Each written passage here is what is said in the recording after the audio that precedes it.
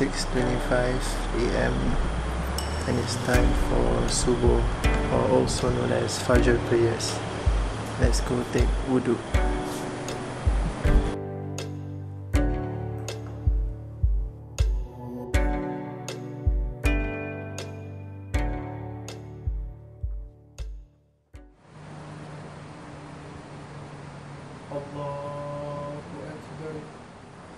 Assalamualaikum warahmatullah Assalamualaikum warahmatullah Astaghfirullahaladzim Astaghfirullahaladzim Astaghfirullahaladzim So Fajr prayers or also known as Subuh prayer It's hard to wake up to in the morning.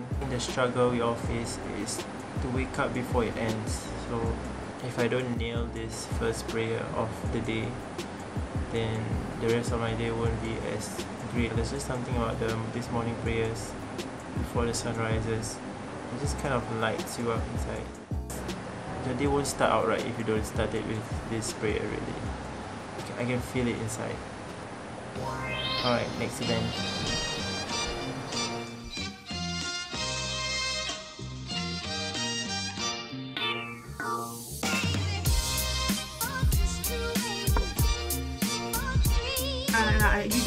Go to out then I'll update you if I'm gonna drop by. Assalamualaikum everyone. Um, I'm currently on the way to school. Uh, class starts at 3:30 and now it's 2:08. So enjoy me my day.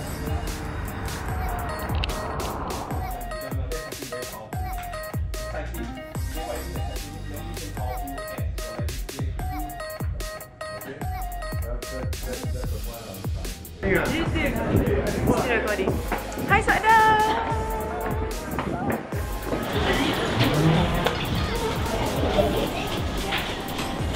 Assalamualaikum. Assalam. Was I entered my workplace and I said Assalamualaikum to my colleague, which she responded with Walaikum Salam. Assalamualaikum means peace be upon you. Walaikum Salam means peace be upon you too. In Islam, there's this practice where we wish for peace for one another.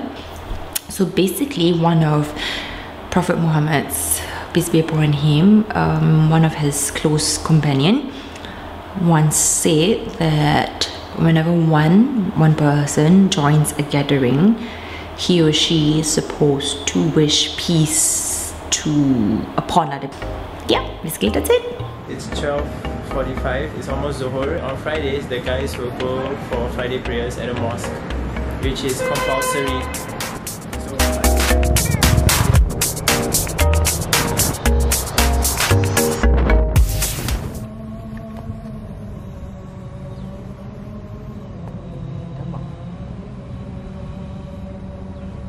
The call to prayer for Zuhur time. We're headed to the mosque now.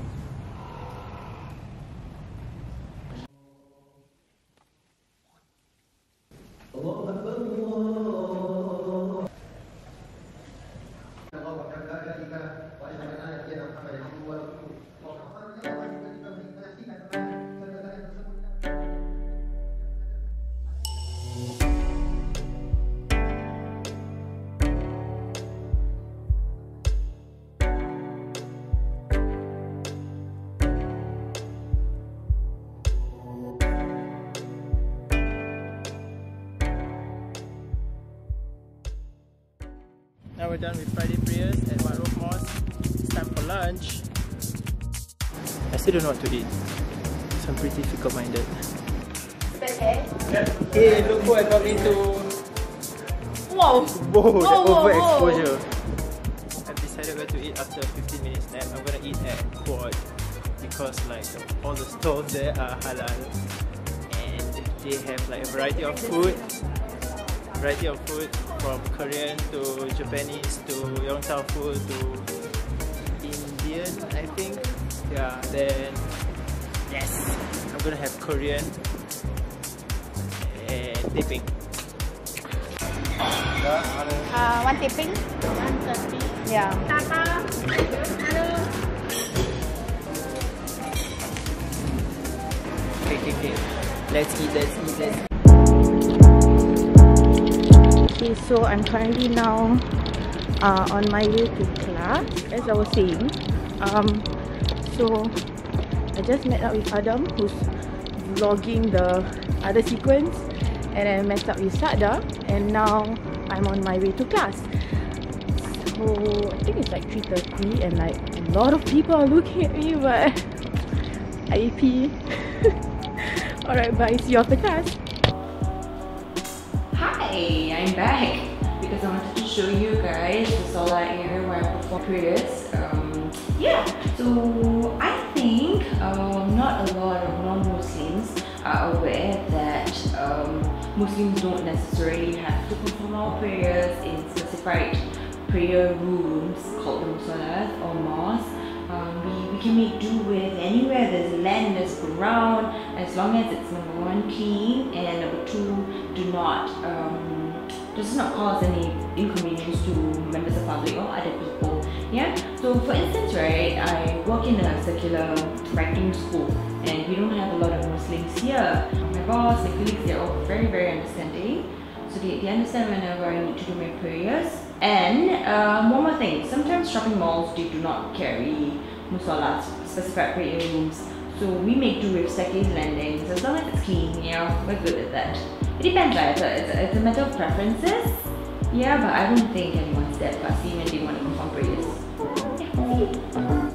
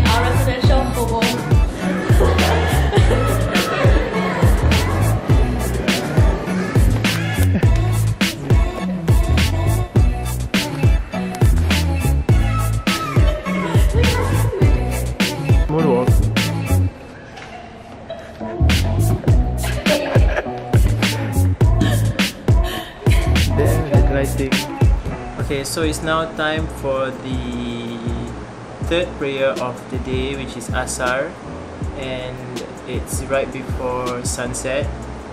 And well, praying in NT is not a difficult thing for me because I have a hall.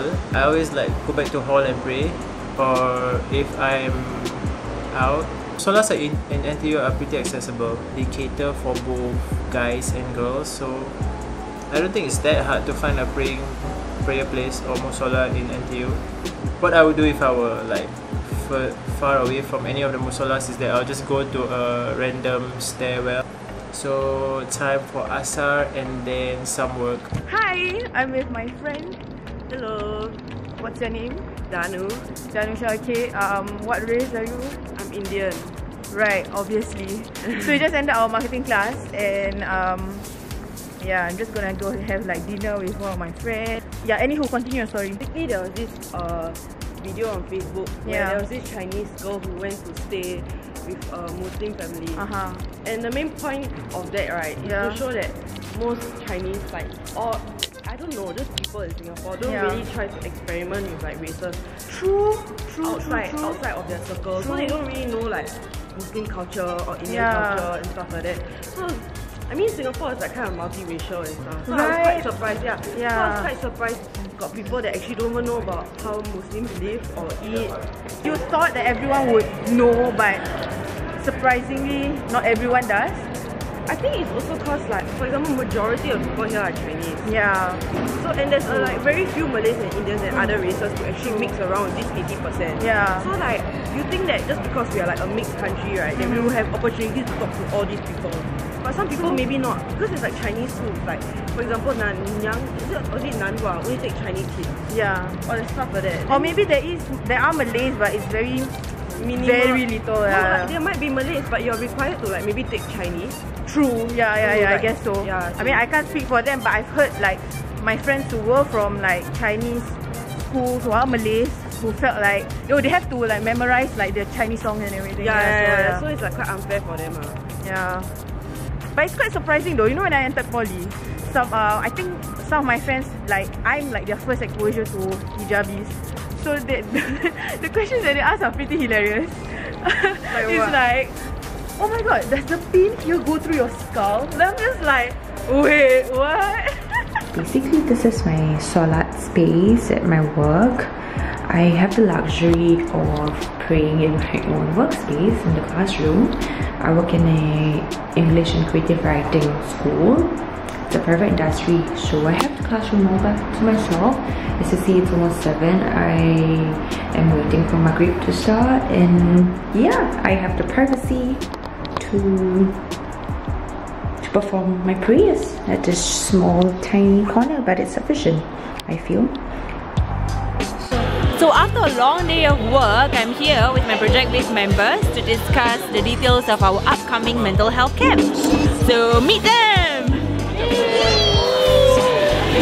Meet them! Hello!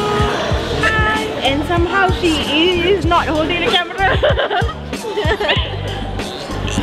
Yeah, so okay, Shikin, I'm going to introduce Shikin to introduce to you guys what Project Wave is about.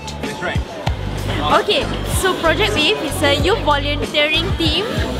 Yeah. Project Wave is a youth volunteering team specializing in mental health in Singapore. So we, um, so we organize events uh, like camps, and we do filming projects to raise awareness about mental health in Singapore. Do you guys understand? No. Eh, you're supposed to not. oh, take this, then I can. hard to. I'm shooting you. Pretend that I'm shooting. Tengok sana. Satu eh, not mine.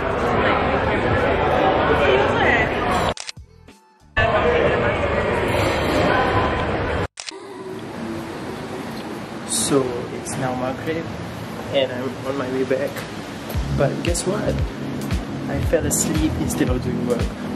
So it's completely normal but I guess, I guess the week just got me drained.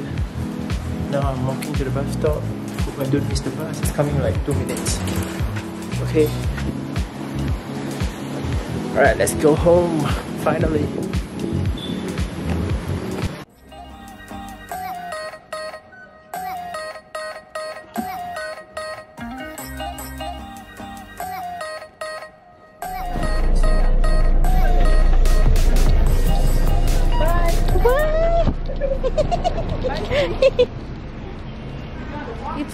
It's already 7.10.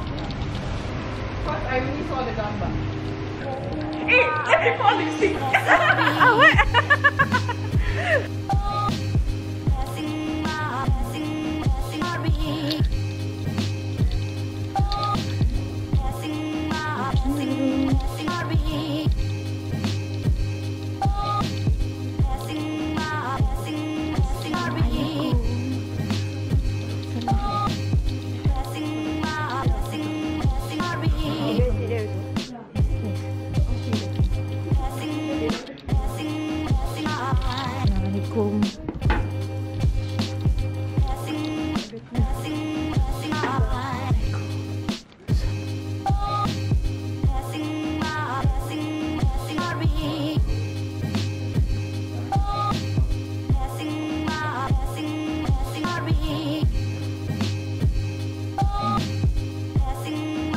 So that concludes my Friday and week 8 of school.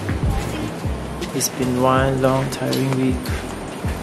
But Alhamdulillah I made it through and gonna reach gonna go home and eat dinner and spend time with my family and my cats.